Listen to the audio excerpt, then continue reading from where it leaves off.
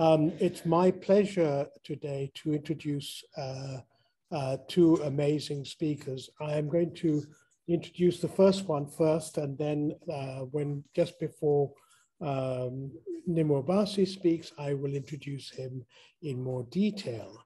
Um, my our first speaker uh, is um, uh, Boa uh, Monjane, who is the author of this amazing book that we published uh, recently, We Rise for Our Land, Land Struggles and Repression in Southern Africa, uh, which is available from the Daraja Press website. Um, and uh, Boa is uh, based at the Institute of Poverty, Land and Agrarian Studies at the University of Cape Town, South Africa, as a postdoctoral researcher, and is also a fellow of the International Research Group on Authoritarian and Counter Strategies of the uh, Rosa Luxemburg Stiftung. He's also an associate fellow at the Center of African Studies at Eduardo Mondlane University in, in uh, Mozambique. Um, uh, and I go back a long way, and he has been uh, responsible for assisting us in the translation of some of our uh, previous books, including one by Nnimmo Bassey, uh, The Cooking of the Continent, which he will talk about a little later on. So with, with, with much warmth, uh, Boa, welcome to uh, this uh, webinar, and um, the floor is yours. Thank you very much, uh, Comrade Firoze. I want to thank you uh, in the name of, I mean, uh, as uh, director of Daraja Press and uh, the co-organizers of this um, this course. I think it's an it's an amazing uh, initiative. So congratulations for put this course together. Um, as you were introducing me, I was thinking about uh, this book you you mentioned, which I still read today of Nnimmo Bassey. I translated it 10 years ago, and it's still very important uh, for us to understand uh, processes of um, extraction and exploitation the continent. And I think you guys are going to enjoy an amazing uh, uh, conversation with Nnimmo Bassey Mine is going to be very, um, very um, simple, I guess. I won't be, I won't be theoretical, um, but I basically want to talk about the centrality of land um, in in people's struggles historically and and today, and uh, the role of agrarian movements in confronting or resisting uh, agrarian capitalism, or as I call agrarian neoliberalism. And then I hope to have a moment to um, exchange ideas with you um, uh, if questions. Um, I'd like to st start by um, talking a bit about myself as, um, uh, I mean, in terms of my positionality, because I think that is important to locate, to locate where we are in terms of, you know, uh, how we approach um, uh, knowledge and how we approach um, uh, science. So I consider myself to be a scholar activist. Um, and I apply a scholar activist perspective in, in my work. And according to Jun Borras, a scholar activist is someone who explicitly aims not only to interpret the world in an academic way, but also to change it, um, and who is connected to a political project or a movement oriented towards social social justice. So I, I do my work um, very closely with agrarian movements, um, very close to UNAC in Mozambique. I'll talk a bit more about UNAC later, and also Via Campesina and other movements. Um, so a scholar activist, which is also connected to participatory action research, is actually a rigorous academic work that aims to change the world, right? Or committed uh, activist work that is informed by rigorous academic research, which is explicitly and unapologetically connected to political projects or movements. This is a beautiful uh, definition by, by Jun Borras. Um, and our comrades and, and, and Mwalimu, professor, teacher, uh, Shivji, tells us that by practice, the rule of engagement with comrades should be emotionally sensitive, socially comradely, and politically connected to the working people. So um, it's a, it's a, it's it's about objective work, rigorous but not necessarily neutral. So this is where I position myself um, in relation to to the work I do. Um, in this slide, I would like to bring you or take you back to, you know, some centuries ago. Um, I think this this um, I don't know how much you are um, you are aware of uh, the ways in which the African continent was conquered um, by the European con continent, um, especially through the arrival of um, Vasco da Gama um, in, um, in the Cape and then up uh, to Mozambique on his way to, uh, to India. Um, and I'm, I'm bringing this because I think this marks the the, a key historical moment where our continent uh, was exposed to um, invasion, um, exploration, and later exploitation, which led to what was known uh, later as colonialism, right? So these images, uh, these, um, um these images illustrate for me uh, that very long historical process. Um, often when we talk about resistance in the continent, we, we, we talk about the struggle, you know, armed struggles of the, of the 50s and, and 60s, you know, uh, but we forget that the process of organizing our people to resist invasion uh, is as, as, as, as, as uh, long as the, as, as the invasion itself. So these three um, figures um, represent some of those uh, leaders who resisted uh, resisted um, uh, uh invasion. Um, Nzinga Mbandi um, in the territory that is today known as Angola, Ngungunyan in the territory that is known today as southern Mozambique, and Chaka Zulu in the in the in the in, in what is today um, KwaZulu-Natal area in South Africa. These are just a few uh, figures of resistance that uh, preceded uh, the you know resistance struggles that are known um, uh, mostly in, in, in literature and in, at schools today. Um, so um, these um, figures and images uh, actually represent the um, the, the affirmation of colonialism, right? Colonialism as a political project um, of, um, of, of, of, Europe, of course, it initiated later after, after the, the, the actual invasion. So um, the photo in or the image in your far right um, is actually what is known as a Berlin conference in the uh, 1884, 1885, when uh, the major imperial powers uh, met in Germany to divide Africa among themselves, of course, according to their own interests.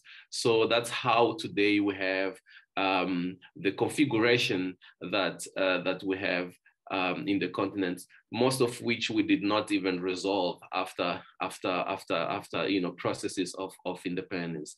Uh, this photo right uh, below uh, is uh, Cecil Rhodes, uh, who had a, a, a, plan to connect Cairo to um, to Cape uh, through a railway. Of course, um, that railway would serve um, nothing more than um, capital, right, to uh, to to move uh, from the continent.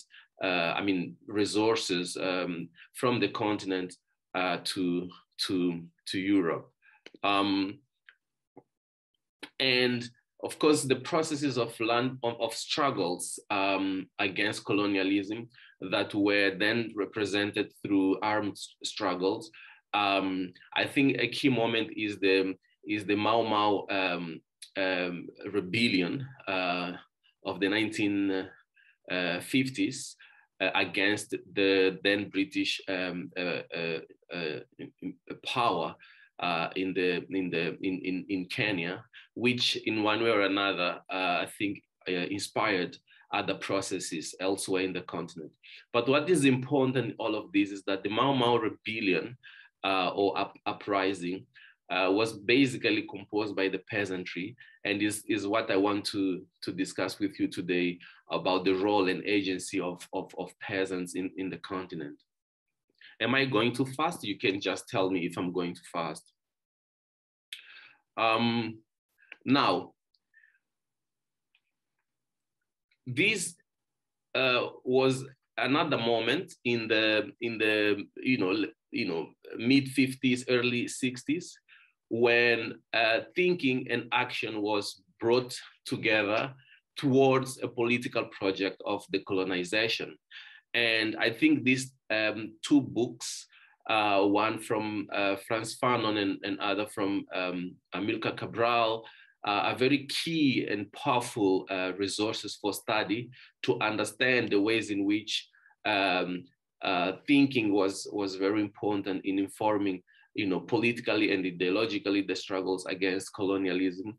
And of course, these thinkers had um, a Marxist approach, uh, but they did not, of course, uh, apply it without uh, without uh, making it um, meaningful for, for the conditions, for the material conditions and historical conditions of the continent. So, um, you know, authors such as Kwame Nkrumah would, for instance, uh, disagree with Lenin on the issue of you know what is imperialism what is colonialism what's capitalism and he said that for instance neocolonialism was the last stage of imperialism uh, to make the point that the, the, the, colonial project in Africa has not ended uh, uh, with the end of um, the, the colonial rule, right? Which is, is a point that uh, I, I, will, I will pick later when making sense of processes of land grabbing and penetration of agrarian capital in, in our continent uh, later. But one of the most important thing I would like to realize as well here is the role of peasants, of the peasantries. These thinkers believed that in Africa, not only workers, but the peasantry uh, had um, a, a, political, a political um, agency and they, they could constitute the, an important force in the process of, of liberation. So they did not uh, downplay the political a potential of the peasantry. And in fact, in most uh, countries in, in the continent, including my own country, Mozambique, um, without mobilizing the countryside and without mobilizing the peasantry, the war against um, Portugal would have not been, um, I mean, would have been much more uh, harder. So it was important to mobilize uh, the peasantry and, uh, of course, bring into, into that struggle um, ideology uh, and political direction. And so I, I, I think uh, for the interest of time, I'm not gonna go uh, in details about these three, for me, important thinkers, but um, I will encourage you to sort of um, try to, to read their works um, um to sort of understand well what I mean by by, by what I've just shared, right? So in Mozambique, for instance, um, the idea of the national liberation against the Portuguese uh, um, um, colonialism was actually uh, the idea that we need to liberate uh, not only people, not only men or you know people, but also the land, because the land was seen as an a, a, an important central component in, in, in, in, people, in people's liberation. You cannot liberate yourself if your land is still uh, under the control of, of, of, of imperialism and colonialism. So the idea was to mobilize workers and peasants to liberate the people and the land. Okay, so that was sort of an historical uh, context I wanted to share with you so that we understand um, my, my key argument here, which basically is that uh, the land struggle that we see today and, and the composition, the political composition of, of, of you know, uh, rural and, and, and land-based movements is not disconnected from longer processes of, of, of, of, of, of, of struggles, right? So what today we see as uh, agrarian neoliberalism uh, in the context of convergence of multiple crises is, in my view, uh, a continuation of the same colonial project, of course, taking different forms. And if you read, for, for, for instance, if you, if you read the report um, by the World Bank, I think it was yeah, in, in 2008, as you can see uh, from the from the cover, you can you can understand how, for instance, land and agriculture was was was perceived as um, um, key for the penetration of capital. Uh, of course, in in in, in correlation with um, with other processes, you know, extra, extractive processes such as uh, mining of, of, of mineral resources and so on and so forth. So we have seen um, a new, what Sam Moyo calls a new scramble for Africa. Um, and it's new, it's not, um, it's not, it's new in the sense that it, it takes a different form, form. It's not new um, in the sense that it hasn't happened um, uh, uh, before. So it's a scramble of a new type, if you like, um, which of course involves a lot of uh, um, dispossession, eviction of, of people, and violation of human rights. And this has been exacerbated, uh, or it shows a, a, very high peak um, um, around the 2007, 2008, where the world was hit by the food crisis, as well as um, uh, you know other crises such as economic crisis and an energy crisis. Um, and of course, all these um, things have intensified processes of um, of um, neoliberalization, right? Which um, in Africa, after the processes of independence uh, was sort of uh, initiated through economic adjustment programs, uh, which basically forced the states to adjust their policies towards um, towards liberalization. Um, one. So these these are some uh, cartoons that express actually uh, what what I'm describing. Uh, these two, I think, they're included in in Nnimmo's book because they were uh, drawn by a comrade of um, of of of ours from Mexico. Um, I was trying to locate it in the book, but actually it was drawn specifically to be included in Nnimmo's book. So it's it's a great coincidence that uh, actually we have Nnimmo today. So of course, what we see is a resource rush um, in the case of Mozambique, where, as I, I said you before, it's not only it's not only agriculture, it's also plantations, it's also mining, and also big dams, um, uh, irrigation systems, uh, conservative projects, biofuel uh, production, even ecotourism, which some could uh, believe it is progressive.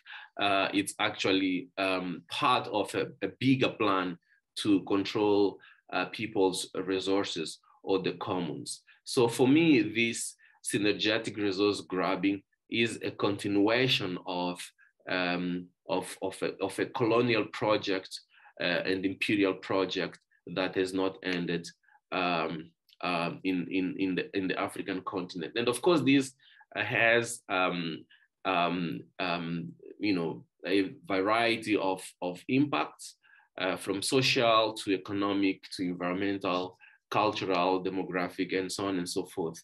Uh, it leads to expulsion of people from their lands and from their territories. Um, it facilitates land concentration um, and it in intensifies the crisis of social reproduction, uh, which is which is gendered, right?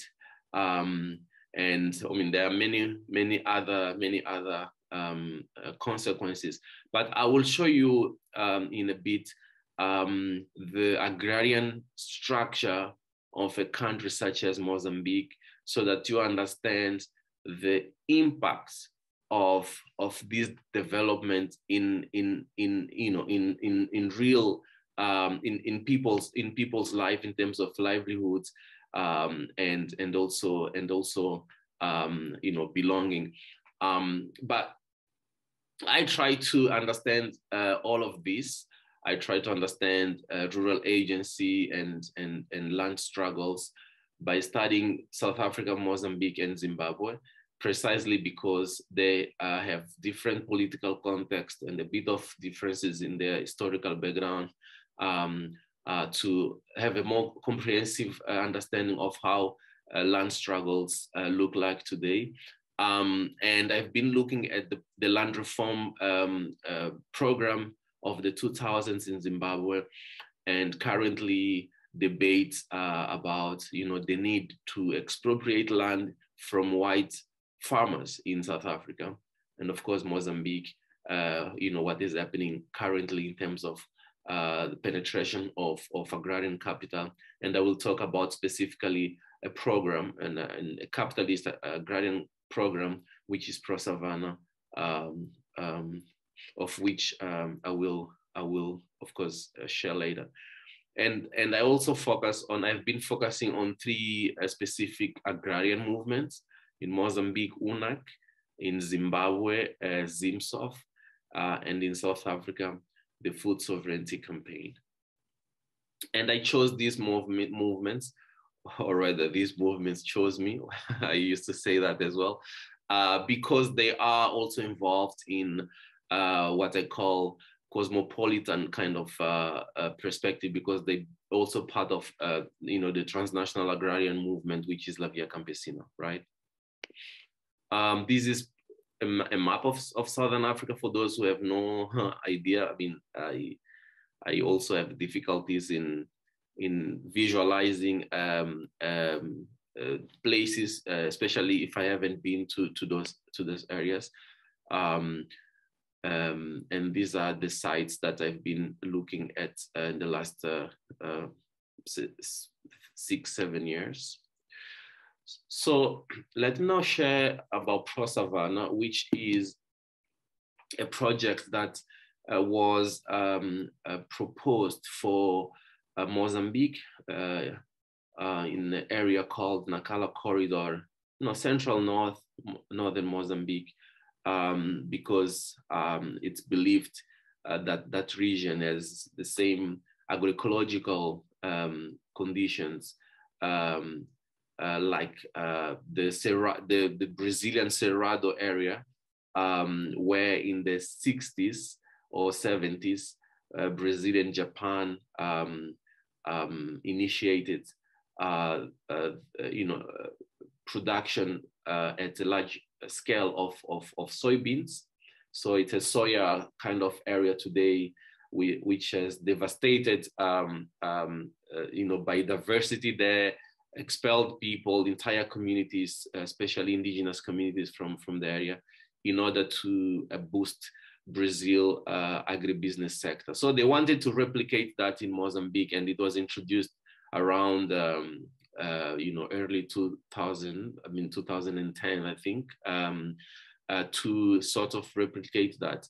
Um, and also to, uh, you know, uh, introduce GMOs technologies and all of these things.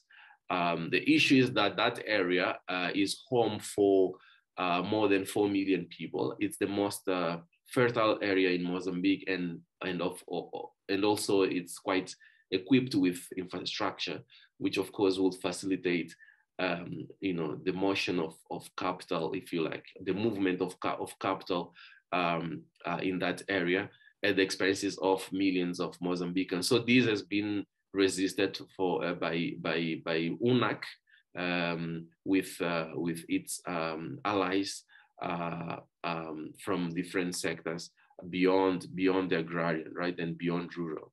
Um, the idea was that you know, Brazil would uh, provide uh, agribusiness technology and know-how. Uh, Japan would um, take care of, um, you know, export and also bring money into the project. And Mozambique will definitely bless the project by, you know, by providing land. Now, um, the the Mozambican agrarian structure today, as we speak, looks like this. You know, we are um, almost 30 million people, uh, 81% of the economically active population work in the agriculture sector. Uh, agriculture contributes to the GDP with 25%, which is quite significant because in agrarian societies, this, this is normally um, the case. Uh, unlike industrial societies where agriculture tends to contribute very little uh, to the GDP. Um, Mozambique has uh, 36 million hectares of arable land. Pro Savana was aiming at occupying 14 million hectares of land. So almost, you know, less, a little bit less than, than half of what is available for everybody to, uh, to cultivate. And small scale uh, uh, food producers or, or peasants, if you like, cultivate 97% of, of the land, and the industrial sector cultivates only 3%. Um, so this is the reality that agrarian capital wants to change and shift uh, the um, uh, the uh, you know the agrarian structure so that the you know the big agrarian capital can dominate the agricultural sector uh, and and and free the peasantry from the land or, or expel the, the peasantry from the land. And and a variety of uh, international uh, actors um, you know, World Bank, IMF, and northern governments, and so on and so forth, have been actually putting too much pressure into Mozambique government to actually uh, allow capital to to penetrate, uh, which of course it's, it will impact um, tremendously the livelihoods and and you know and and home for for millions millions uh, of of people. So these are some photos where uh, resistance to um, pro-Savana uh, sort of were, were I mean, captured um, in various moments and various in various places. I have to say that I was part of the Not to Pro Savana campaign, and this explains my scholar activist approach. Because while I, I study um, this process, I also act, uh, uh, you know, actively uh, in this. Um, uh, which uh, of course it's what, at least for me, um, gives me a sense of, uh, you know, you know, you do academic work for what purpose? I don't do it for the purpose of doing career. I'm not a careerist. I do it in the purpose of, you know, feeding into into a process of transformation, right? So um, I also participated actively in the in the campaign against Pro Savana. And finally, in, in, in, in, in July 2020, uh, Savana was declared um, um, dead by the governments of Mozambique and Brazil after almost a decade of, of, of struggle uh, um, of social movements and the peasant movement. Um, and you can see, we don't see Brazil here in this photo. We see the Minister of Agriculture in Mozambique on the right and uh, the rep representative of uh, this this the person on the left is um, was in 2020 the Jap Japan ambassador in Mozambique. Uh, so they announced that Pro Savana is not conditioned to be to be implemented because, of course, because of the pressure, right, the social pressure and political pressure that was was put on them. Um, as I was saying, Brazil is not in this uh, picture because uh, due to the changes in political um, um, environment in Brazil, uh, first through the uh, impeachment of Dilma Rousseff and then the imprisonment of Lula. The new government, of course, just um, uh, you know they were not interested in in in Africa anymore, which you know those are the contradiction of the left, which was played um, very very um, in, in the favor of, of, of the peasantry in Mozambique because Brazil was a key element in Pro-Savana as well. Uh, this is another case um, study that I follow, uh, which is Shashe in Zimbabwe. Remember, I told you I, uh, I've been looking at the land reform in Zimbabwe. So this is a case is um, is a case I'm looking at in which um, a, a, group of uh, of uh, of land occupiers uh, before the state declared land reform uh, have uh, have occupied um, a, um, you know a, a former um, um, farm, a cattle cattle farm, um, which was owned by um, a white uh, white commercial farmer. So they kicked him out and they built um, a new kind of revitalization. So to what uh, was before uh, one, you know, mono sectorial sort of um, economic activity was transformed into a vibrant agroecological village, which uh, today um, you know hosts uh, more than 4,000 uh, families. Um, they shared land. They've been put together processes of, of, of you know producing a diversity of grains and vegetables and you know small animals and stuff like that which is today a very um, vibrant kind of, uh, of a village which is Shashe. Um, and the case I'm, I'm looking at in South Africa is a small is is not actually is not very common that uh, in in our field we study churches right?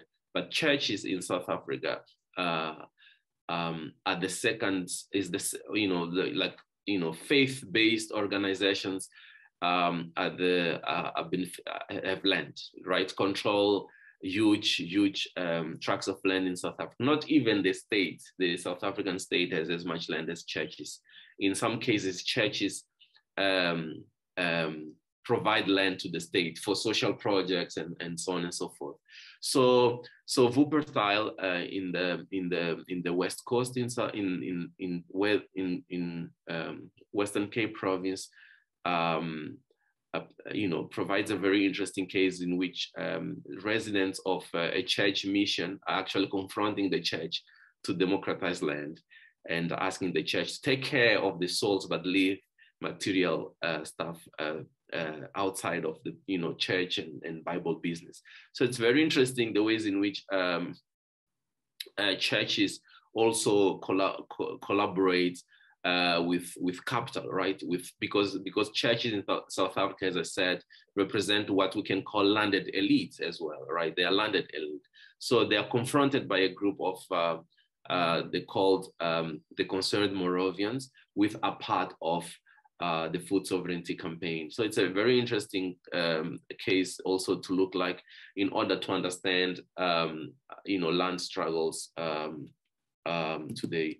Um, so I will I will be concluding uh, slowly.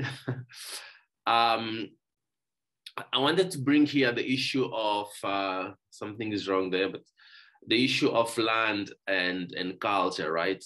uh, because um, as I argue, land is not only a matter of you know productive sort of uh, factor. Um, it's also um, it, it, means much more than that for people. And when people struggle for land, it's not only for to have a piece of you know of of, of land to grow cassava or, or maize. It's much more than that. So um, I think we need to understand the role of ancestry uh, are there. Also, the issue of land and property. Um, I don't know how this sounds like in, in English, but in Portuguese, there is a difference between posse and propriedade. Uh, so, so people have no uh, idea of having land as private property because how can you have land which was given by nature as a private property. So when when people about talk about you know ownership and, and tenure and stuff like that, they're not talking about property in terms of uh, private property as we understand it in the Western uh, conception of, of, of it. So that's very important as well.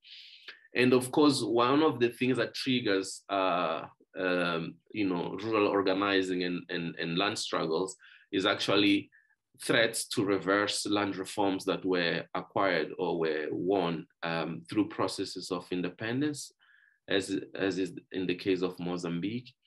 And as I try to argue, um, land is very connected, land struggles are very connected to the long process of liberation. They are not, as we see today in most of the literature, um, something of now of now of, of neoliberalism, right? It, it's it's it's uh, it, it, it, it's it's it's a it's a longer process, right? Uh, of of of of of of uh, um, you know of the struggle for for liberation, for dignity, for self determination, which of course it has been abandoned by the so-called post-colonial states, right? Because you know they uh, constitute, uh, you know, what we can call um, the elite today and uh, uh, build alliance with uh, you know international or global capital, uh, and they have abandoned the, the, the, the, struggle for liberation.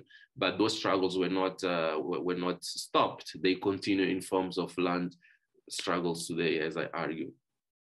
And to make some concrete, sorry, some concluding remarks, and then maybe allow some minutes for for discussion.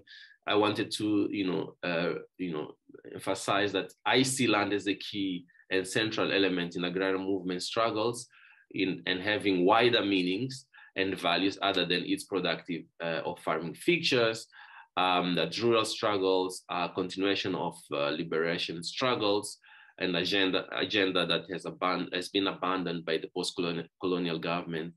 Also that land, uh, current rural struggles are intimately linked to you know, past processes of resistance. Um, and, and here most of uh, my uh, uh, colleagues disagree, but I have realized that most of militant popular struggles and experiences of emancipation, emancipatory alternatives today um, can be found in the countryside or are related to land, right? Um, and in most cases, rural and agrarian movements are, are, are more progressive than other uh, than their counterparts in in in in you know their urban counterparts. This includes trade unions, uh, and in fact, I find that uh, trade unions um, have uh, a lot of uh, obsolete elements uh, that are not even relevant today.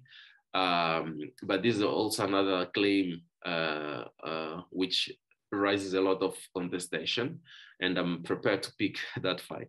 Um, and of course, that uh, you know the diversity in terms of culture, knowledge, history, and political preferences that characterize this movement has been um, uh, used as you know an um, authentic e ecology of knowledges. Um, and that uh, you know there is there is the, the, claim of of a peasant identity, uh, which is a big segment of the working people, not peasant uh, as you know in sort of uh, Marxist term, uh, but peasant as you know, I, and I think in in in Spanish um, the concept is much more interesting because it's campesino, right? It's, which is which is which is uh, encompasses um, much more than than a class uh, uh, identification. And I think, um, yeah, I will I will leave it there. And thanks for listening to me. There are a few comments uh, I'd like to make first, um, and there are also some questions that are coming up. I mean, I think the important points you make are that the importance of seeing land not only as a productive resource, but as, as a source of history, of culture, of meaning uh, for people. Um, the, the importance of the distinction between private property and, and the the commons. And what colonialism has done is to appropriate the commons. Um, I think it's wonderful that you emphasize the victory uh, that was uh, achieved against the Brazilian, uh, Japanese, and the Mozambican government, because I think the point you make about the continuity of colonialism is an important one. But I'm surprised you didn't mention in more detail the collusion of our neo-colonial governments. You know, the Brazils, the Japanese, the Americans, the British, the Europeans could not do what they are doing today without the collusion of our uh, our own governments. And I think that's something that you need to, I think, emphasize much more. Um, I think the final point you make about the importance of uh, of seeing uh, the campesinos as as as the heart of small farmer uh, um, movements. It, I think the term peasantry is is inappropriate because it has this European and other roots of feudal uh, as a relation with a feudal estate. And I think Issa Shivji's point is that we must consider these as working people, not merely uh, as peasants. And so I think um, uh, those are some of the comments that I would uh, uh, raised. Yeah. There are a number of questions that have come up. Um, uh, it always amazes me how many questions we get. Um, first of all, thank you for the heartening case of victory of the Pro Savana project. Um, how do you think this was won, and, uh, um, which is often not the case? Um, to what extent are farmers organized as cooperatives? Um, say more about the philosophy behind the question of land. You said it should be not be privatized. Is this a legacy of traditional African thinking? And uh, could you also tell us about the significance of Cabral's thoughts in today's peasant struggles? Um, in your PowerPoint, you said that they are uh, taking away our land, our food, and overall home. Who, who are they? Um, what do you mean by the word they? Is there any national and even transnational agency or land reform revolution in, in your country, in Southern Africa and in the African continent as a whole? Um, is land struggle the base for, for Pan-Africanism? And finally, uh, what are the new difficulties faced with, uh, with climate change? Over to you, Bo. yes, I was trying to I was trying to take notes because I, I, I, I did not see the chat myself. I was listening to you, and uh, I was also trying to see if I can respond all of these questions in five minutes because I really need to uh, rush to the airport. Yes. Um, okay.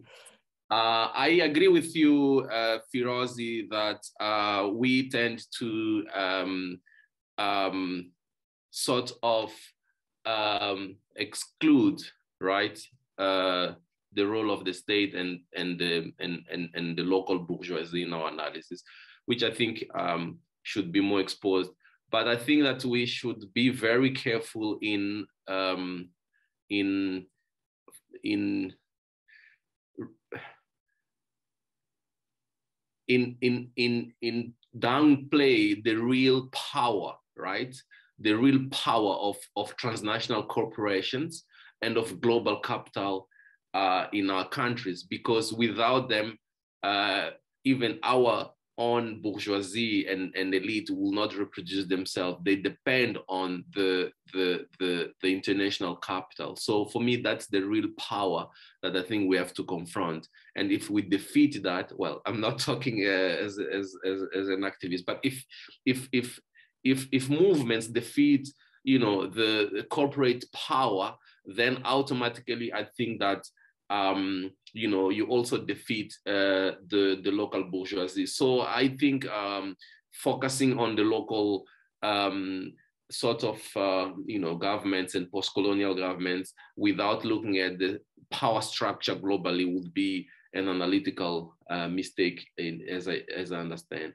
Pro Savana was, was in fact uh, a very rare case of, uh, of, of success for, for, for peasants organizations, but it was not, it was not just um, a, um, an accident that it was defeated. It was like a, almost a decade of you know, a combination of tactics and strategies and alliances and, and exposing the government and exposing the capital and, you know, traveling to Japan, traveling to Brazil, mobilizing public opinion, media, uh, putting a bit of propaganda as well as a bit of uh, populism, uh, which was important. But this is a discussion for the day. But I've been arguing, um, you know, um, you know, um, you know, building on on on Jun Borras that you know, you know, agrarian movements can also adopt some progressive populism in confronting in confronting um, right wing uh, uh, uh, uh power.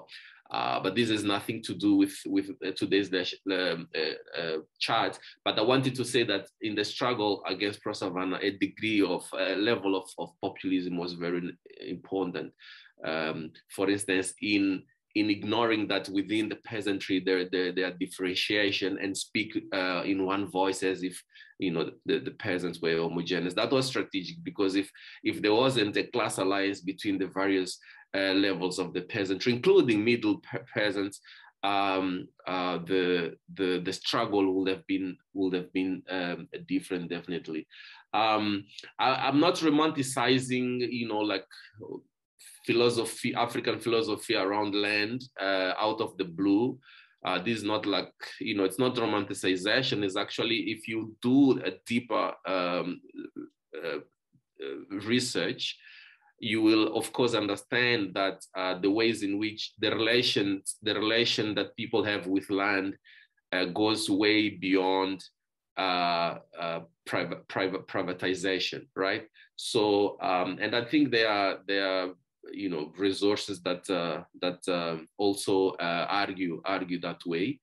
Um, I think Cabral is still very much uh, um, useful today, uh, and I think of course we will have to take his teachings and put them into context. But one of the things that Cabral uh, was uh, was very um, in my view, uh, important was the issue of incorporating culture, right, into processes of struggle, right, and and the, you know the issue of you know like the the you know we have to think as well as we have to act, but incorporating culture uh, um, in the process, and I think that is pretty much um, uh, still very useful, not only in Guinea-Bissau, uh, but elsewhere uh, in our in our continent.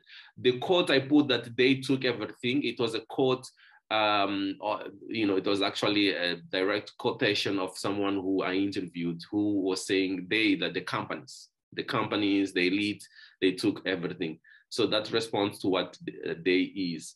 Um, I really think that I will have to leave it there, uh, Firoze and, and dear um, colleagues, because I really need to rush. I'm sorry for, for this, but I thank you once more for the opportunity that uh, you gave me to, um, to be with you and congratulations once again for the, for the initiative.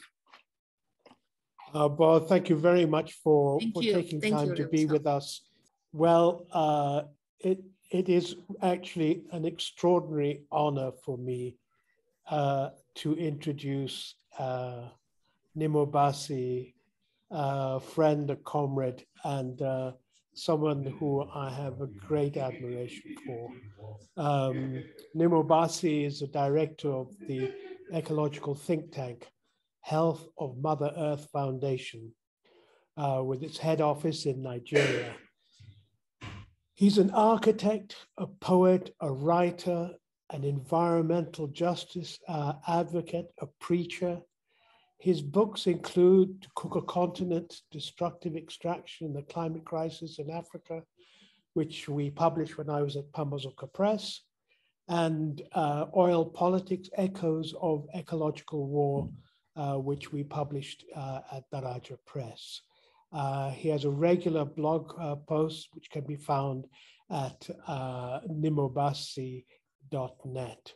Um, I could speak for, for an hour or so uh, to really give you a flavor of uh, about who Nnimmo is, but uh, I am sure I don't need to. Many of you will know it, and no doubt that when he speaks today, uh, everyone will get a, a sense of this extraordinarily important uh, individual who has made so much uh, happen um, in, in, in our continent. So Nnimmo, a very, very warm welcome to you. Uh, and the floor is, of course, yours uh, to speak about the cooking of the African continent. Thank you so much, Firoze. Uh, and for your generous introduction. Uh, it was also a big pleasure listening to Boa. And of course, we had to let him go to go somewhere else. His voice is very important in the struggles for the liberation of the continent, especially for understanding the underlying forces that are keeping our people down, people and nations down. Uh, I thank all the comrades who are putting this together. I thank also the interpreters uh, I will be speaking, as Firoze has already said, on cooking, the cooking of a continent, which happens to be the title of uh, my book that was uh, published by uh, Daraja Press uh, uh, and Fahamu also. So we'll be talking about the cooking of a continent. Um, the, the whole idea is that Africa has had the un, unfortunate uh, position of being right in the center of the world and being so accessible to the whole world from west, from east, from north, from south, anywhere you can reach Africa, and you can just take a boat and sail around the continent. Uh, and so Africa has had pressures from every, every direction. And the other thing that made Africa rather vulnerable was that by the time Africa came into the clash with the Europeans uh, in colonialism, um, the, the continent had developed nations and kingdoms that had very, I would say, without being nostalgic or without being romantic, some continent, some nations and kingdoms that had very strict rules. In other words, places where people respected Mother Earth, respected nature, respected one another, and crime was extremely minimal. And so there were people who trusted another person's humanity as captured in the Africa, African concept of Ubuntu uh, in South Africa or Etu in Nigeria, which means living the good life was not about accumulating capital, but about respecting the next person uh, and your neighbor. So in, in this presentation, I'm going to be speaking a lot about the exploitation of the continent in the context of climate change, uh, which is what we deal with a lot in Health of Mother Foundation, uh, which is what also uh, brought me into contact with many other comrades across the continent and yeah, and in other regions. Uh, now to go forward, uh, we just just look briefly at the a short history of human-induced climate change. Now, we all know what climate change, we don't need to define it. Uh, it's about a long-term alteration in Earth's climate and weather patterns. Uh, it's not a thing that just suddenly creeps up with anybody, something that's been built up over the years because of human dependence on fossil fuels. You know, we've humans have depended so much on fossil fuels over the last 200 plus years, uh, but we always think that we cannot do without fossil fuels or that there was no life before fossil fuels or that there will, there will be no life after fossil fuels. But this, this is the frailty of human imagination that we need to challenge at every turn. Uh, there's been so much research showing uh, that humans, uh, humans, uh, human activity is what is driving global warming. But those who are actually behind this horror have spent also a lot of resources uh, pushing the counter narrative that there's no, no climate emergency. Uh, right now, the world, there's more or less a large, large part of the population in the world have agreed, scientists, politicians, industry, they've agreed that human activity is driving global warming. But then the problem is, how do we solve this problem? How is this problem to be tackled? Who is going to do what? And who, who, who would take, who, who would, who would do, what would people do? And we've seen over the years very uh, dramatic, uh, dramatic changes in the way uh, countries uh, take, take up, they'll show their understanding of the problem and their readiness to tackle the problem. Uh, right from at the time we had the Kyoto Protocol in the 1990s, the Kyoto Protocol in the United Nations Framework Convention on Climate Change. And in that protocol, and up to, especially up to 2009, uh, the Conference of Parties that took place at Copenhagen. Before then, before Copenhagen, the, the idea was that climate action must be predicated or based on a, the principle, the justice principle of common but differentiated responsibilities. That meant that those who did more to create the problem should do more to solve the problem. Those who do less and are still doing little or nothing to create the climate, problem should do something, but not to the same measure as those who have benefited from destructive activities. So that, that is generally called the common but differentiated responsibilities. Uh, but from Copenhagen, uh, that, that principle required that industrialized nations should carry out emission reduction at a, a, a verifiable level and as a binding requirement. In other words, it wasn't voluntary. They just had to do it. Uh, but from, from, the Copen, from Copenhagen, which was COP15, Conference of Parties number 15, the new idea of voluntary actions came into play. And then in Paris, this was concretized as, as almost like a creed for the whole world. And so those who have created the problem and those who are just victims are all, all put on the same at the same level to volunteer to make pledges about what pledges about what they're going to do, action they're going to take. Uh, and this is we see this as extremely unjust and of course not capable of solving the problem. Because before the last conference of parties of climate change negotiation, which took place in Glasgow uh, in 2021, the United Nations Environment Program did an analysis of the pledges, which is called nationally uh, determined contributions, which we'll discuss further on today in this conversation. When they checked the aggregation of what nations said they were going to do, it was found that um, nothing, everything, uh, the temperature targets of 1.5 as a lower level and below two degrees as the upper level would all be exceeded if nations do what they said they were going to do. They will be talking about three degrees Celsius.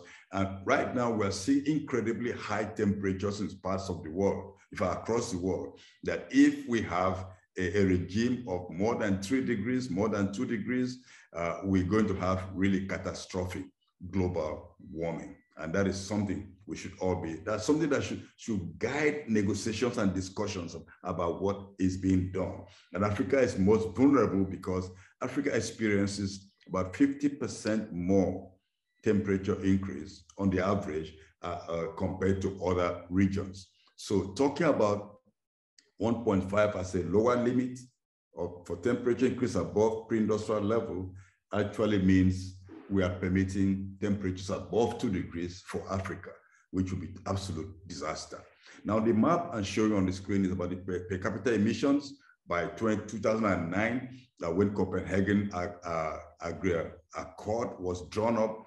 If you look at this chart, you, you find that the big polluters per capita, uh, Australia, United States, Canada, uh, Russia, uh, European Union, these are the big ones. Come to Africa, you could point at South Africa, then you go to Brazil, Japan, and Korea. Uh, of course, India having a, in per capita a small footprint right there. Uh, so this, this, is important to, to see uh, that the entire African continent, apart from South Africa, there's little or nothing. In fact, right now, it's generally agreed that um, the contribution of greenhouse gas from Africa into, into the atmosphere is less than 3, 3% compared to what is coming from everywhere. Then cumulatively, the historic emissions, you can see from the bubbles that we have over the map. Again, not little or nothing from Africa, as I said, about 3% or so. Uh, but the big chunk of the pollution is coming from United States, uh, followed by European Union, followed by Russia, followed by Australia, uh, India, China, uh, Japan, Mexico, and, and Brazil. Again, Africa is, uh, is just there to, to, to bear the impact. Now, this map shows distribution of impacts. Uh, it, it, shows virtually that all the, Africa is totally crushed by the impacts.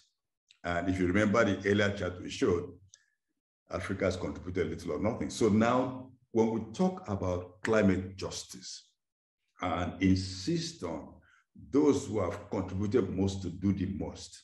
Uh, I believe it's just a simple moral question because to, to, to pollute and continue to pollute and continue to insist on the mode of production and consumption that has created this problem uh, and, and not being ready, uh, without being ready to, uh, to change, then it means that Africa has been, is being cooked so this is what cooking the continent, part of what cooking the continent means.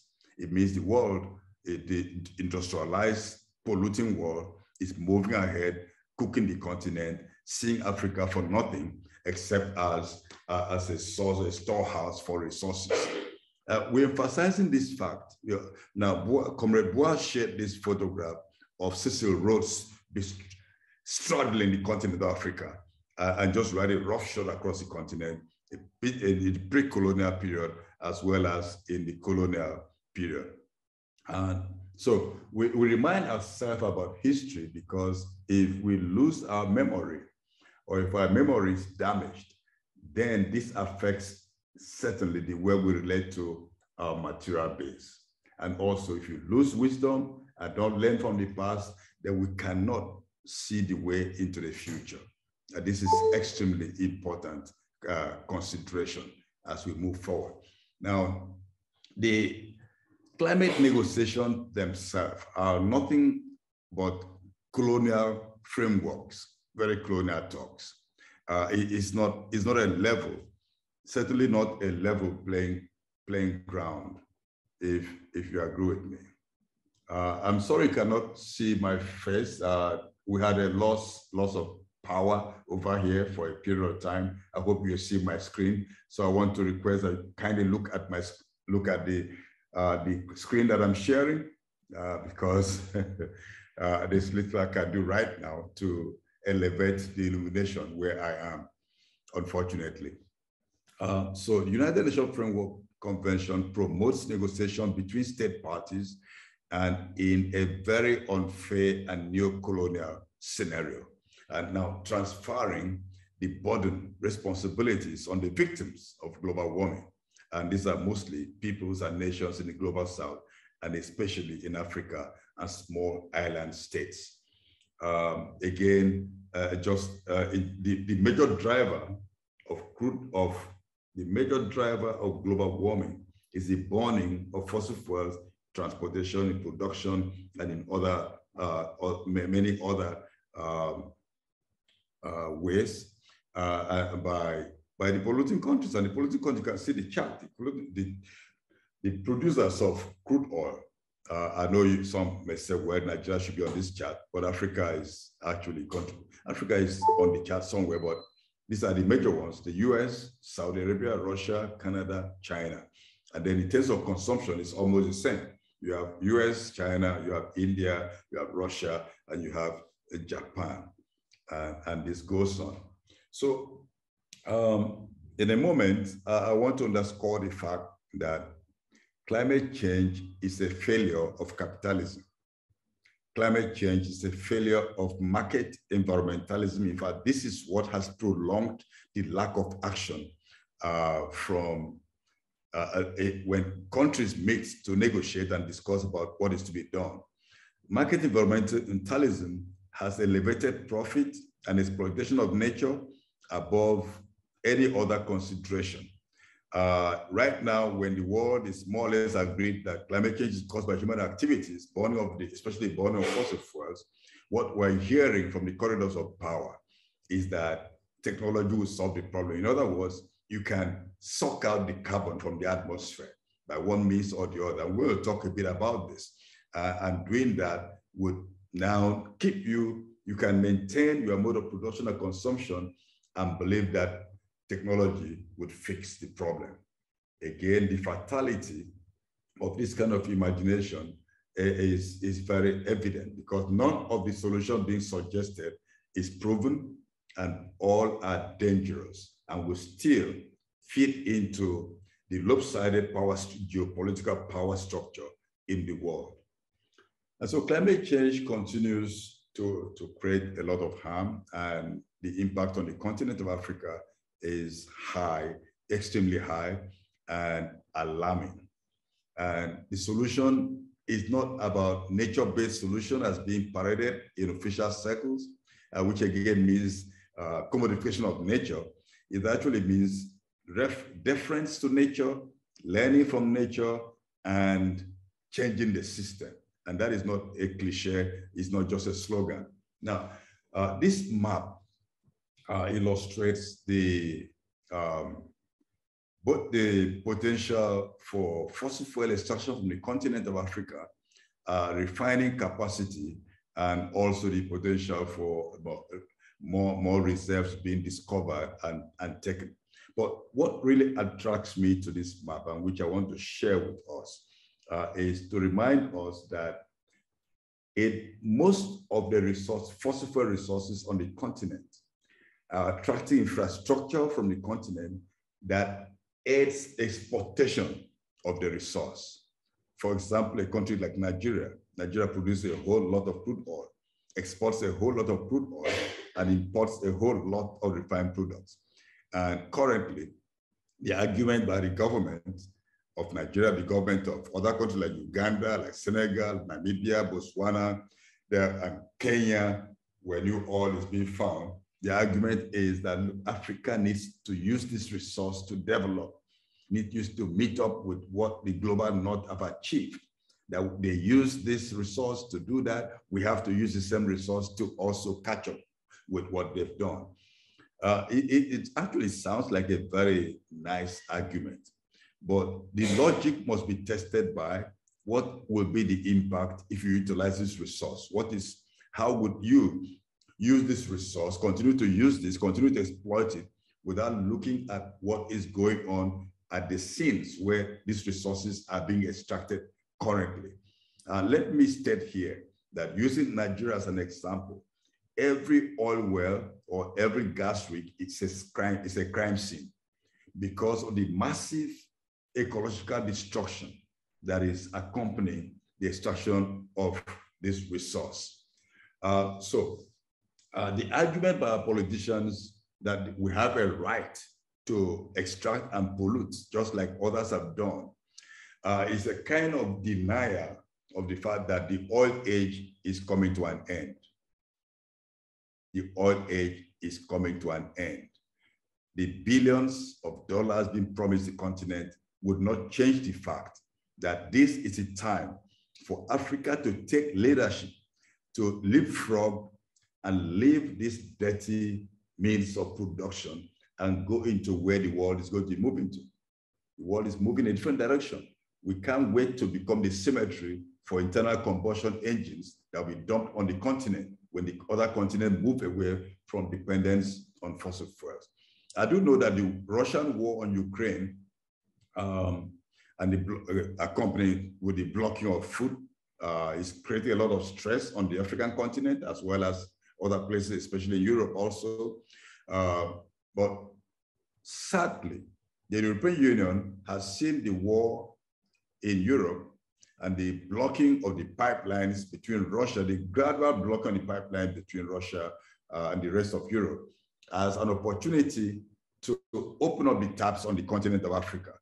And so we're finding investors getting interested in searching for crude oil or extracting crude oil drilling in Okavango, in Namibia and Botswana. And they're looking for offshore oil and gas of uh, Senegal, planning to extract from Uganda and transport to Tanzania. We'll talk more about that. And happily, we're seeing a lot of resistance, a lot of resistance in South Africa to seismic explorations being pushed by corporations like Shell and others. Uh, we see social forces, the fisher folks and others, communities, people of faith coming together to resist the move to extract uh, resources, uh, fossil resources off the coast of South Africa. Now, at a time when the world should be moving, winding down this kind of uh, civilization, we're seeing um, increasing plans to invest about 230 billion within this decade to be invested by corporations in Africa and about 1.4 trillion US dollars to be, to be invested by 2050 in the fossil fuel sector. So we can see that while the world says we know what's created the problem, it's a denier when it comes to taking the real action. And who would suffer the impact? It's still the African continent, number one, followed by small island states, unfortunately. Now, the argument by politicians that uh, dependence, extraction of crude oil will change the situation is actually very easy to debunk. Number one, a country like Nigeria has been extracting fossil fuel resources since 1958 in commercial quantities, exporting this, and we still have a very huge deficit in terms of energy accessibility by the by majority of the people. And so 10 more years, 20 more years of dependence on this fossil fuel resource would not change what you could not change in 64 years. This is true. And then the sector is not a high employer. It employs only about 1% of African workforce it, right now, the fossil fuel sector. In fact, most of those who work in this sector in Africa are contract staff who don't have uh, who don't have long-term long-term uh, benefits from the from the transnational corporations. Uh, equally, we note also that about only about 5% of the investment in the sector is actually done within the African economy. And in terms of fabricating the equipment, in terms of other things, uh, staff, staffing and so on, 95% is done outside of the continent. So the continent is simply staying as a colonial, colonial source of raw materials, just as it was before colonialism and what it was during colonialism and what it still is today.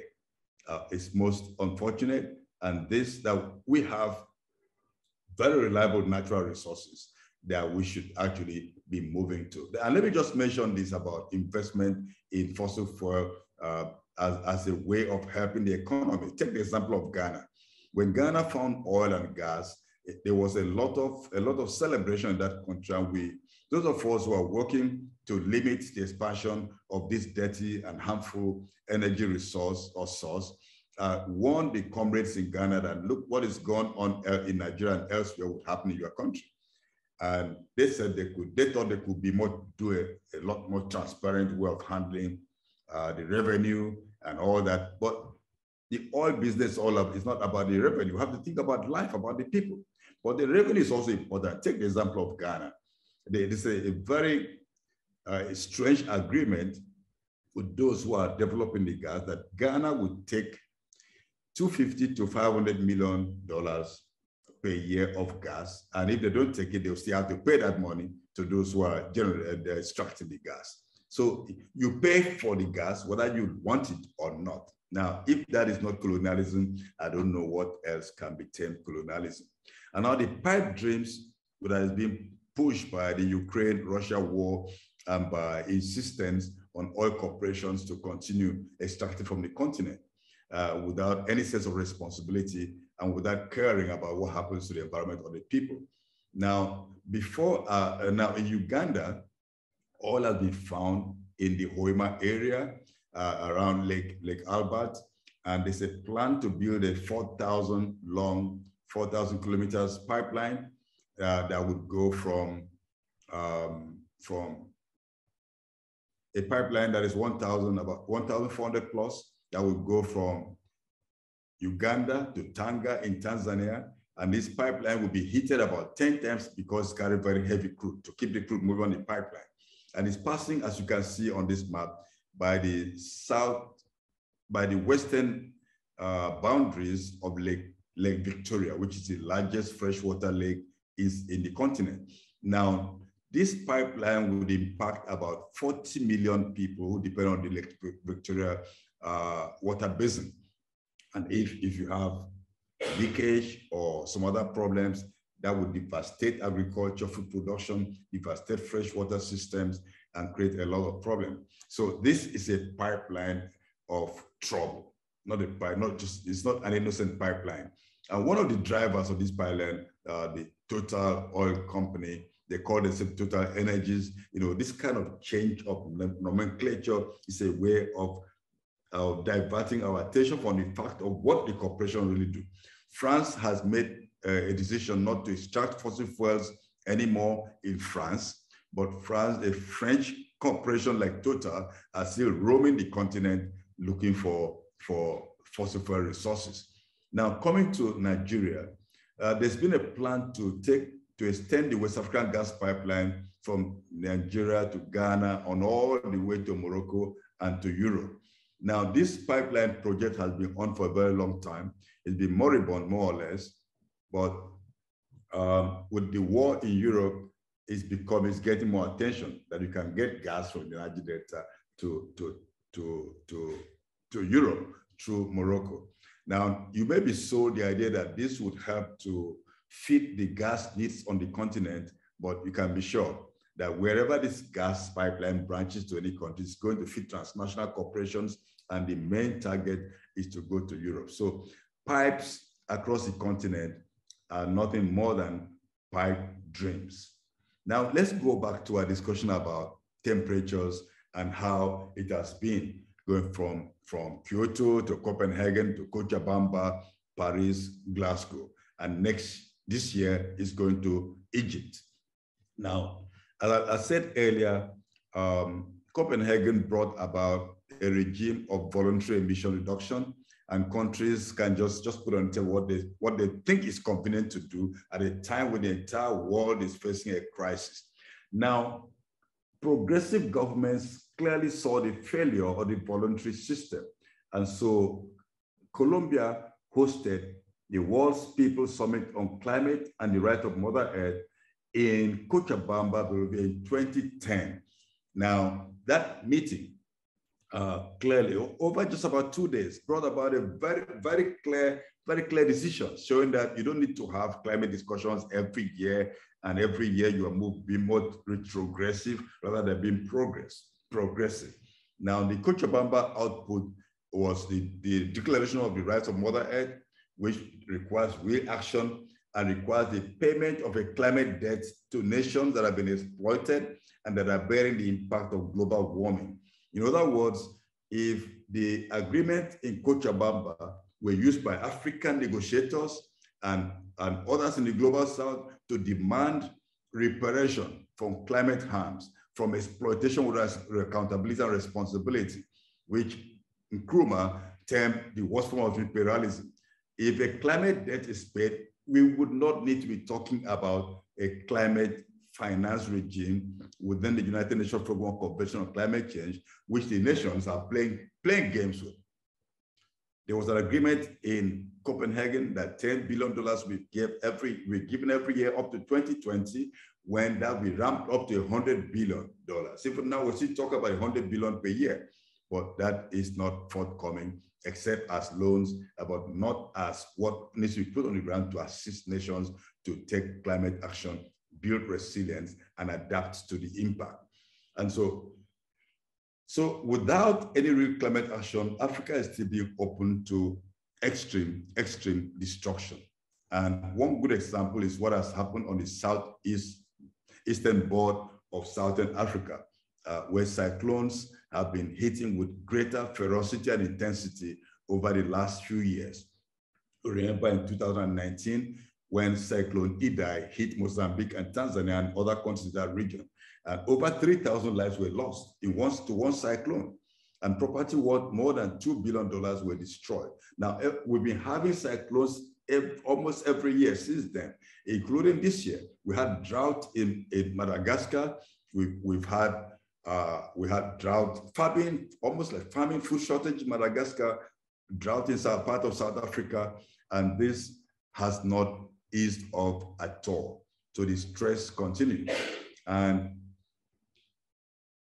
the world continues to move on with voluntary emission reduction, and they're calling the meeting coming up in Egypt as the African COP. And I want to say here that it's a disservice to call that COP, Conference of Parties, an African COP. We've had COPs everywhere around the world, in Latin America, in Europe, in Asia. It was never called the Asian COP, the European COP, the American COP. But now this is fifth time. Some people even say this is the first time the COP is coming to Africa. This is the fifth time the Conference of Parties will be held in Africa. It's been held in Nairobi two times, be held in Morocco, it be, uh, and now we're going to, it's been held in South Africa, we're going to the conference moving to Egypt. Now, uh, you call it African COP as though it's good action will be taken to, to serve, to meet the needs of the continent. As long as we have a voluntary emission reduction that countries can do as they please, as long as the fossil fuel industry populate the corridors of the negotiation, as long as loss and damage have not taken central stage, as long as the big polluters are bringing what they call the net zero notion, then we're still going to see more and more of the same problem. Science clearly shows that you cannot burn the known reserves of oil right now. You can't burn them. You're going to drive the world, drive the planet, uh, the climate beyond what can be, uh, I mean, into catastrophic dimensions. But still, more investment is still going on uh, in this sector. And it's going on in this sector because, uh, let, let me shift to this now. Uh, the negotiation is tending to suggest that technology can solve the problem. And this technology is mostly solar radiation management uh, in various ways, uh, like pumping sulfides, sulfates into the stratosphere, whitening clouds, pumping ocean water into the clouds to whiten the clouds. Uh, some, some people suggest genetically engineering trees that they can, can have forests of trees that are pure white to reflect, to create the albedo effect and reflect sunlight into the atmosphere, radiation into atmosphere. Or you could, you could fertilize the ocean uh, with iron filings or some other elements so as to trigger algae bloom. Uh, of course, also the carbon capture, carbon capture and sequestration or barrier of pollution. Now, none of this can have serious effect impact except it's done at a planetary scale. You can't do a small scale geoengineering except maybe to seed the clouds for rain. But if for climate uh, moderation, you're going to carry out these exercises in at planetary scale and in perpetuity. If anything happens to disrupt the plan, then what, what you try to stop will kick in again and you're going to have uh, that in dimension that you may not be able to control. And now, again, if this is being done by the power bro- current power brokers, maybe the rich industrialized nations, uh, what is the guarantee that the impact will be designed in such a way that it would be less, uh, there will be less negative impact on, on the poor, vulnerable nations who are not engaged in these activities, in this kind of experimentation. There's no guarantee that that would happen, no guarantee whatsoever. And so if I'm the one to carry out this experimentation, this planetary uh, experimentation, I'll do all I can to protect my interest before any, anyone else. And this is this is the reality. And, the, and this geoengineering is currently not being regulated. And there are so many other solutions that are coming up that are not regulated. And so there needs to be some regulation, there needs to be some a moratorium on anything of this nature.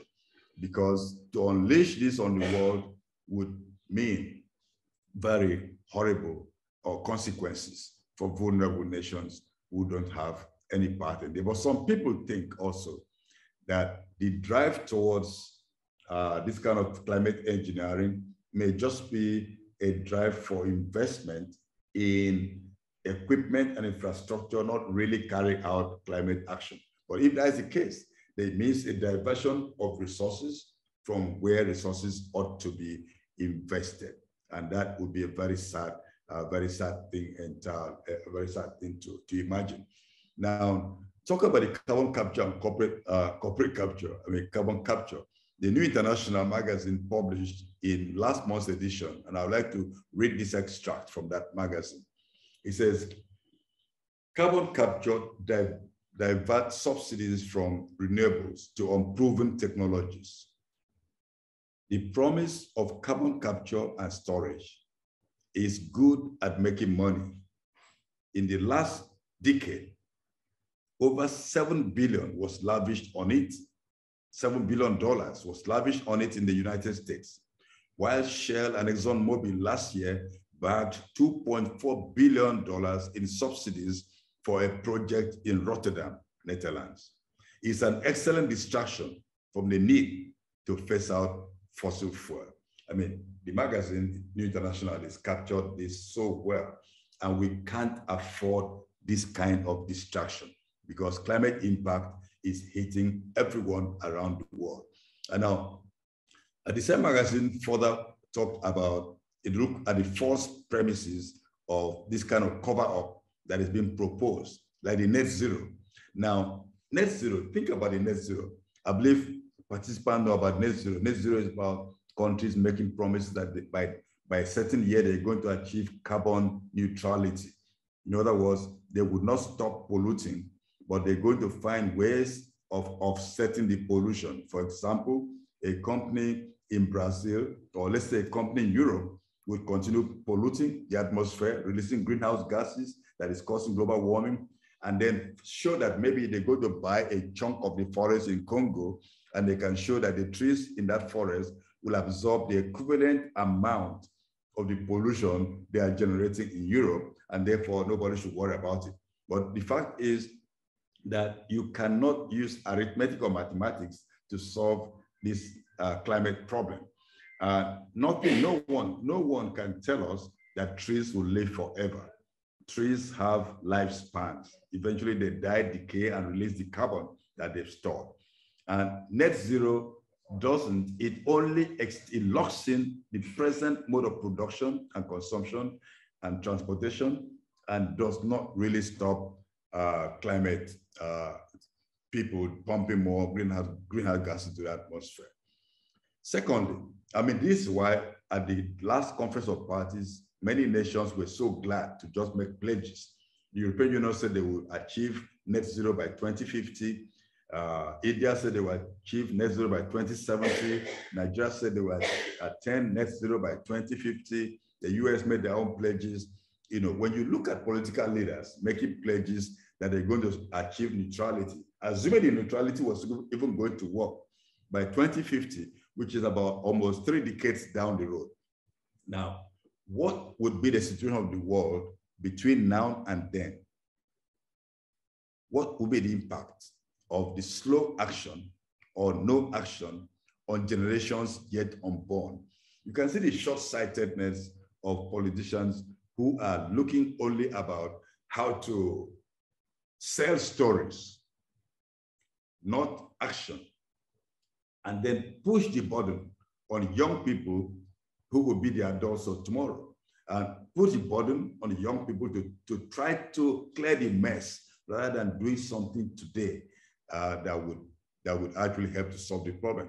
And so you have other solutions like the reducing emission from deforestation of reducing emission from deforestation and forest degradation, the REDD plus, uh, which means you pay and you pollute almost the same thing as net zero, just that net zero is not immediately tied to cash, but REDD is tied to, so I pay you money, preserve the carbon, keep the carbon, or absorb the carbon, I keep on doing my own thing, carry on polluting.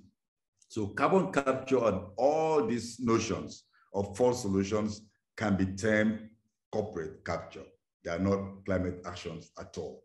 And so we come back to what the issue is. The issue is justice is justice. Is justice. I remember in Copenhagen, the leader of the African negotiators, Ambassador Lumumba of Sudan, wept at a press conference and said, any temperature target above one degree would mean cooking Africa, setting Africa on fire. And today we're celebrating 1.5 degrees in the Paris Agreement, which does not even mean 1.5 degrees for Africa. It means more than two degrees for Africa the uh, Paris Agreement is something that should be totally renegotiated, overturned, and we should go back to legally binding emission requirement from on polluting countries to stop polluting at a level that is measurable and that according to science, the polluting system has failed, even as those who are proposing it do know. The carbon budget that is remaining cannot be taken care of by voluntary emissions cut. And if anything, those who are polluting least, least like Africa, should have the, the, the scope to take action at a more gradual pace than those who have polluted, uh, who have taken up the carbon budget over the centuries. And so the just transition that we talk about must have justice in it. Somebody said that transition is inevitable, but justice in that transition is something that we have to work for. We have to fight for. So when, when activists say system change, it's not just a slogan. It's something that needs to be done.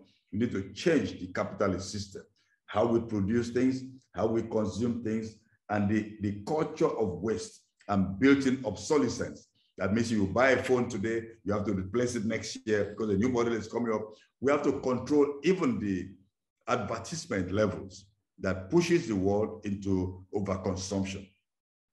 We have to move into green and renewable energy that is just. Right now in Africa, we have situation, for example, there's a big solar field in Morocco that is, that is, I mean, that is built, that has its own challenges of land grab and of denial of sovereignty of the people of, uh, Western Sahara. We have a big wind farm in northern Kenya, the Turkana region near, the, near Lake Turkana, that is creating land struggles and land problems. So whether we're going to green, whatever form of green energy that is desirable, there must be justice in terms of land. If you're extracting the resource to build this equipment, whether from Congo or from wherever, there, also, there must also be justice to those who own the land, who live in the territory that these resources are being extracted from. So what must we do? It's time to mobilize more than ever before. The Conference of Parties come up in, in, in Cairo, in, in Egypt, should be a, a moment for movements in Africa, movements around the world, the youth movement, Fridays for the Futures, Extinction Rebellion, Friends of the Earth International, Oil Watch International, African Climate Justice Group, uh, the uh, Alliance for Food Sovereignty in Africa. They, we must bring all the movements together. This is not a time for professional environmentalists to say we are the ones holding the banner. No, everyone has to come together.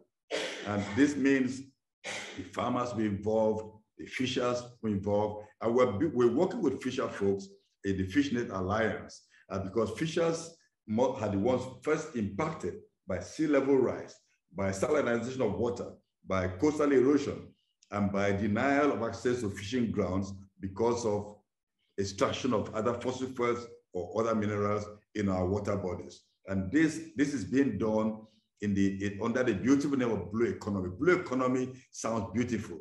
Green economy sounds beautiful, but we're not talking about colors. We're talking about human lives. And Africa must def, def, defend her territory against the notions that allows corporate uh, exploitation and political exploitation.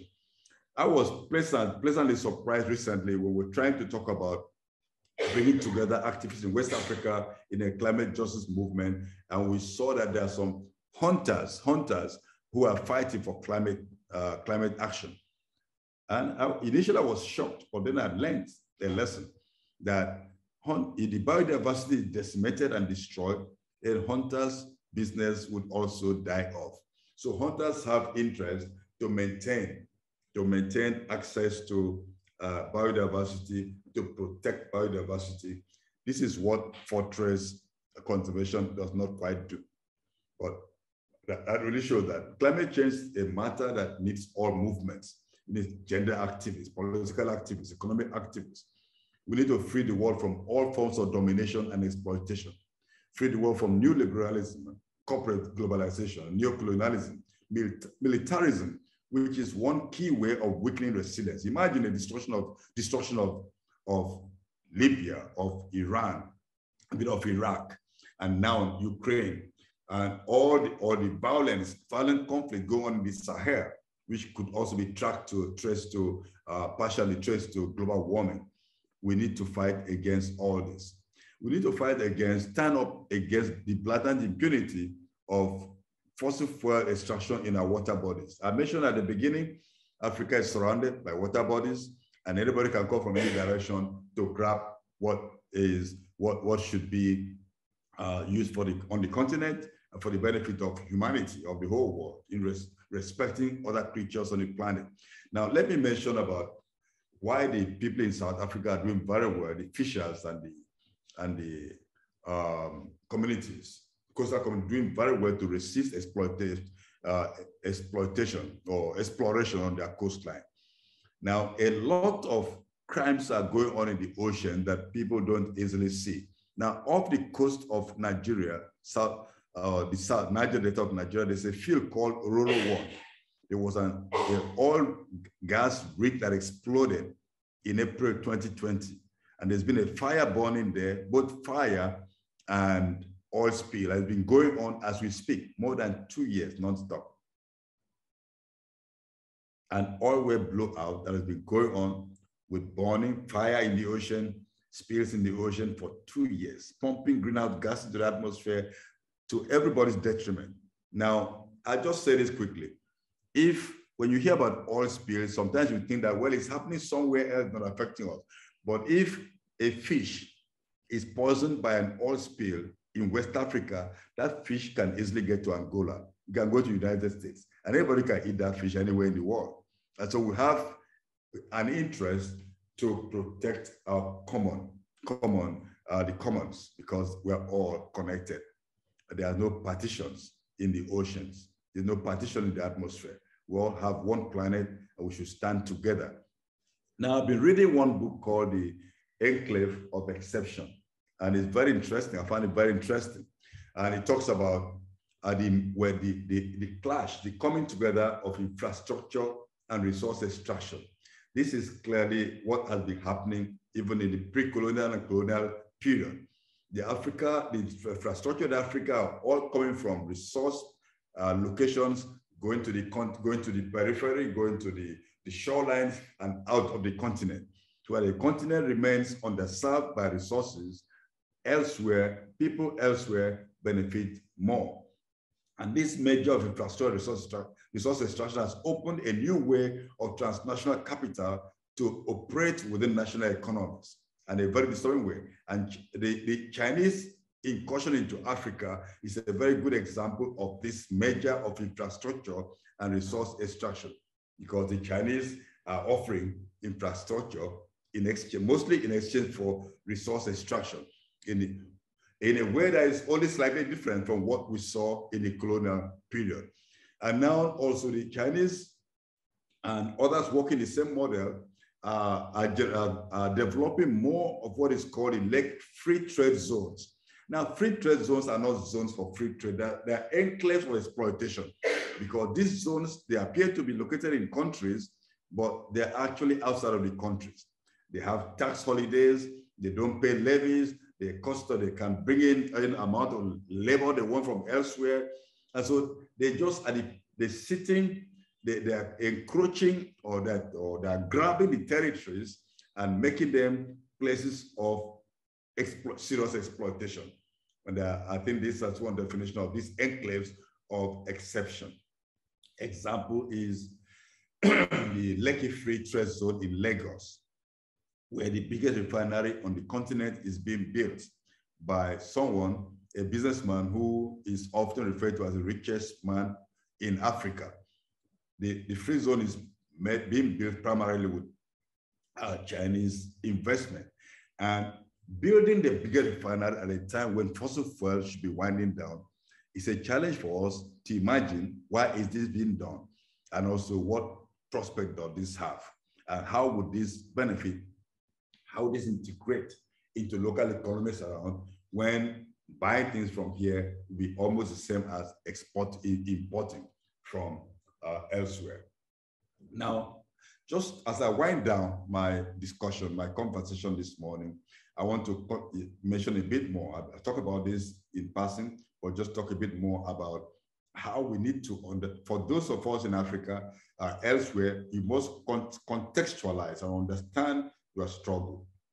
Uh, one EACOP here talks about the East African crude oil pipeline that is coming from coming from Uganda to Tanzania. The Okavango, which is a UNESCO heritage zone in Namibia and Botswana, and Recon Africa, uh, a Canadian company, is doing all they can to drill for crude oil in that place and put over 200,000 citizens at risk. We have the Niger Delta, which is extremely one of the 10 topmost, topmost uh, polluted places on earth, uh, from where the Morocco pipe, Niger Delta Morocco pipeline is heading, is about to start off to head to Europe. Um, now, we, we, in our context, see these examples, there are many other examples, we need to identify and realize what first lines communities are struggling and what they are going through and why they need to be supported to ensure that they're not displaced. Because displacement has impact physically, psychologically, spiritually, culturally, and displacement can ruin a people. Destruction of the people's livelihood and culture it should be taken as something bad.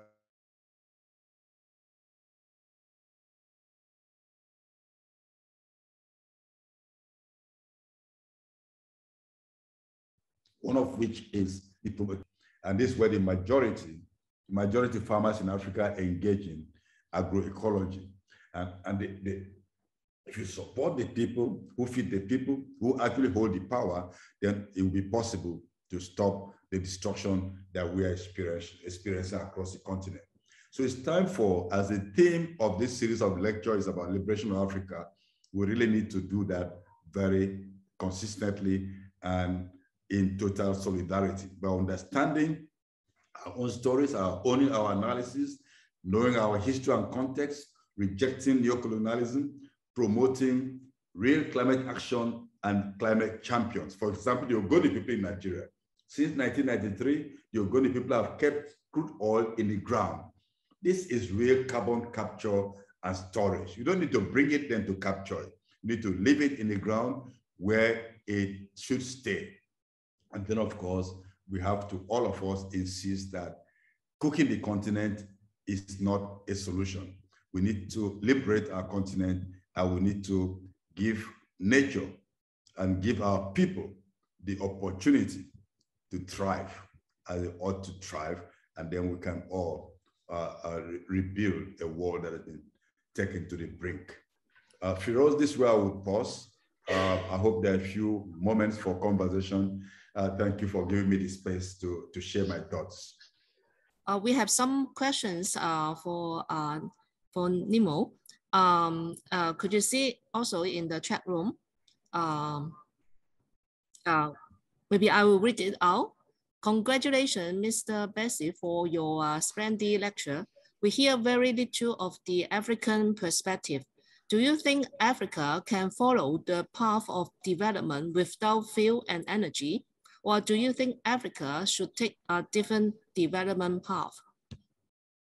And um,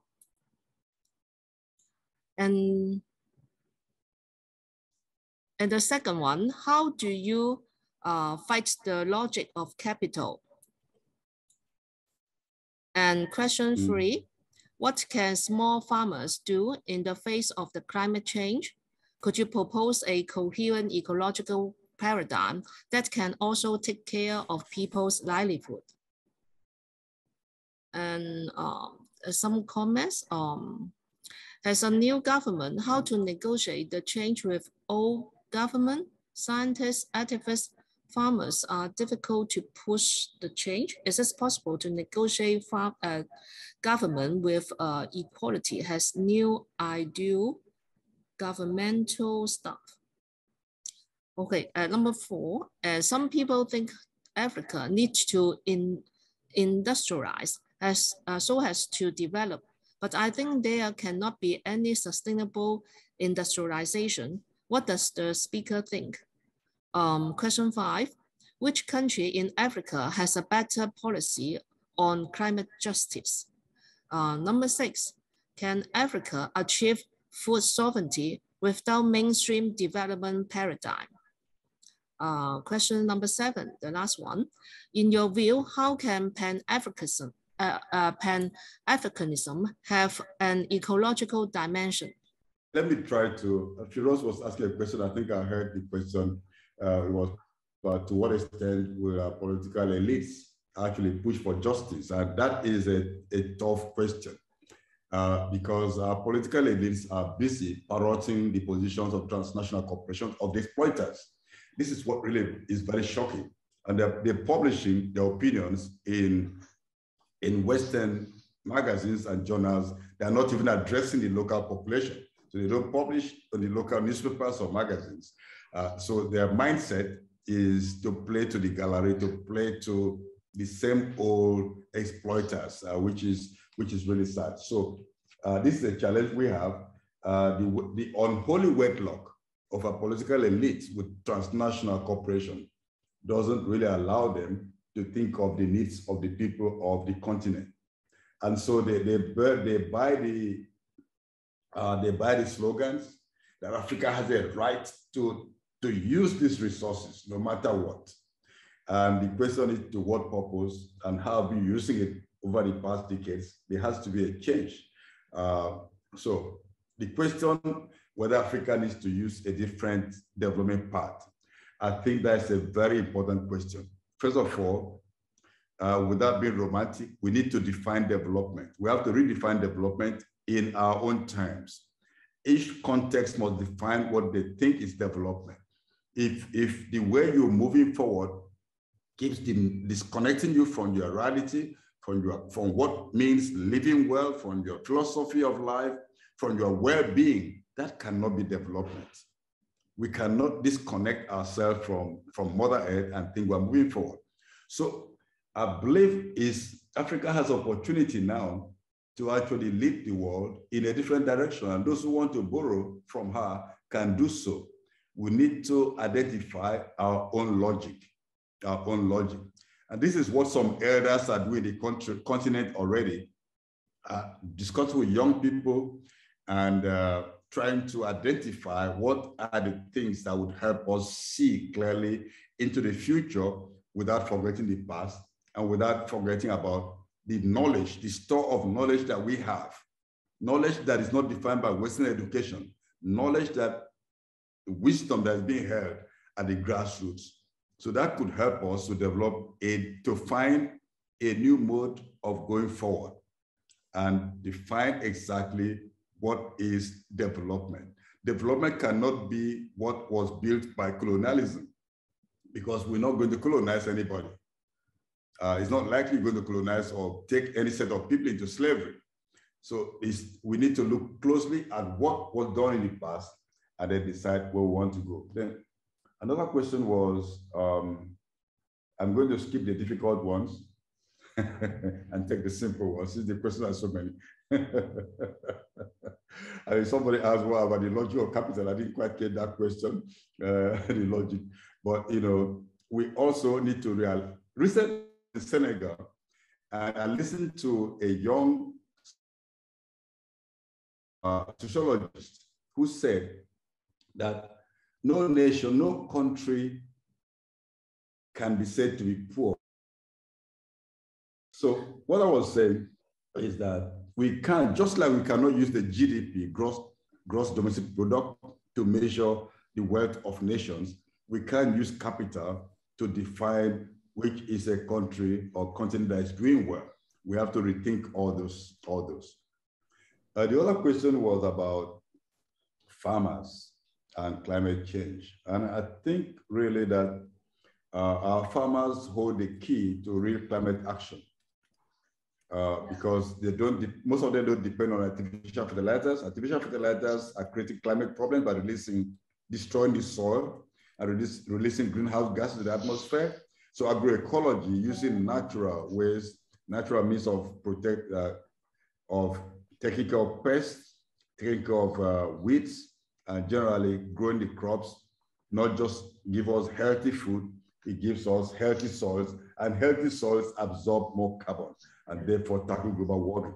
So this is where investment should be, supporting agroecology. Anything outside of that is uh, creating more problems. Now, um, I was trying to take notes.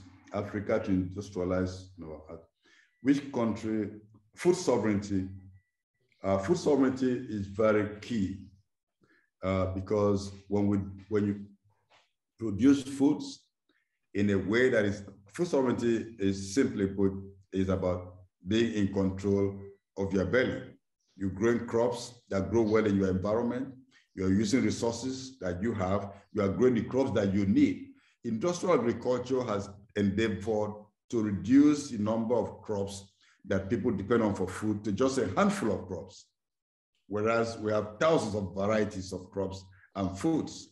And foods do define who we are to a large extent and what our culture is. Uh, and so food sovereignty is very key. Food sovereignty helps to keep to cool the planet, by using the method of cultivation that is healthy. Now, the final question I would like to try attempt now, uh, you can notice that my photo picture has got darker than it was before, just because I'm speaking now without power. and so having more years of fossil fuel extraction will not change that if we cannot do it now. now, Pan-Africanism, can, can Pan-Africanism Uh, would it should it have an ecological dimension? Excellent, absolutely. Now, the African continent in history has been a continent that thrived, is very has thriving biodiversity, uh, understands the logic of living in harmony with one another, understand that other species on the planet have equal, uh, they have rights to survive. In fact, right now, Firoze, we're working on a book of stories on climate change from the animal perspective. Animals are the character that's speaking, tell us what they're experiencing about on climate change. Uh, this is kind of thing that if we if we listen to nature, we understand we're moving in the wrong direction and we can help to retrace our steps. So um, what we need in Africa, Pan-Africanism must embrace uh, eco-socialism. We have to come together to look at how to, how to harmonize our living with nature, with one another, with other communities, uh, knowing that we are not the only beings on planet Earth.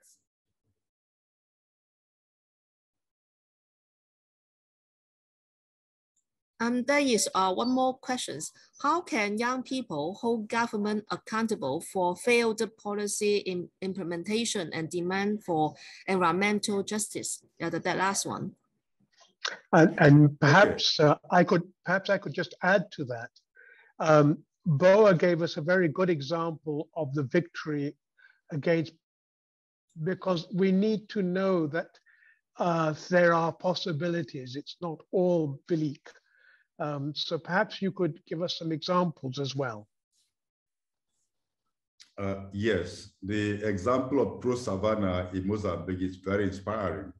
Uh, that the people stood um, stood very firm against that corridor that was copying a mode of production from somewhere else and trying to implant them without regard to the people. So that was a major, major success. Now, in my experience, I would the best example I have of success is the Ogoni success. The Ogoni people campaign non-violently. Just that time, they were just 500,000 people population, half a million people, Ogoni people, because they had, they, they had, they, they could articulate their demands, what they needed, and they had good leadership. And they said, no, clean up our environment, don't keep on destroying. We need to have a say on what is being done in our territory. And even though the leaders of that struggle were killed by the Nigerian state with the connivance of transnational corporations, the success recorded in 1993 persisted today. Not one drop of oil is being extracted in Ogoni land. And the people struggle peacefully, collectively. And so standing together, solidarity is extremely important in any struggle. And then connecting with others in other countries, other territories to amplify and to energize that struggle is very important. So young people holding political leaders to account, very easy. Number one is most of these political leaders, they come for election every four years. If they failed, don't re-elect them, kick them out. If you can call your recall your representative before they finish their term, do so. I'm speaking to you now from the Niger Delta in Nigeria. In two days, we're having what we call the Niger Delta Convergence. And this is this convergence is it bringing together politicians, uh, traditional leaders, cultural leaders, environmentalists, the youth, the women, all coming together. And the whole idea is to forge a manifesto that politicians would have to endorse and also to have a manifesto that can guide our work as social and ecological activists. So young people are the leaders today, not the leaders for tomorrow. They should be very active in articulating, having diagnostic conversations that uncovers the problems and also charts the path for the future, seeing that political leaders are not ready to look beyond four years. They're, they're, they're pointing at 2050, 2060, 2070, because they don't really have interest in the future. So now is the time to have this roadmap drawn by the young people. And young people can also contest political power. There's a movement in Nigeria called Not Too Young to Run. So young people can campaign for that. It's time for the streets to go into the state houses to make the, and also for the COP to come out to the streets so that we can have real solutions to our problems. Hey, wonderful, Nnimmo. Um, well, if there are no more questions, we are now uh, just gone uh, 11 p.m. Uh, at your end, uh, Jade? It's almost uh, 11, 10 uh, p.m. in Beijing now, and we have over 1,700 viewers on Bilibili. So, and uh, yeah, today, tonight, and uh, we have the uh, same problem. Uh, the uh, the suddenly the um, broke out of the electricity in um, Nnimmo's place and also in our place. So we have the same problem. We connect. So um, we share the uh, ecological concerns and also try to find the alternative uh, the, to the uh, capitalism and also the climate crisis. So uh, thank you very much for both the uh, presenters. Um, thank you very much. Yeah, okay. thank you, Nnimmo, for a really excellent presentation. Uh, I hope that you will write this up for us so that we can reflect more detail uh, on that. Um, thank you for taking time to to join us today, uh, and your thoughts make a major major contribution to our understanding of what it means to liberate Africa. Thank you, Nnimmo. Thank you so much. Thank you. Bye bye.